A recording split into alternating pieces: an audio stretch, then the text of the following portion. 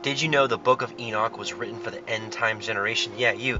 The people who will be living in the days of the tribulation when the sinners are to be removed from the earth. If you haven't read the book of Enoch, I would challenge you. Just read chapter 1. Then take some time, pray about it, and ask the Most High if He wants you to continue reading this book. Because you know what? The end times is like a puzzle piece. And the book of Enoch is a major puzzle piece for these end times to actually understand what's going on and what we need to do to be ready for the return of our Messiah. Shalom.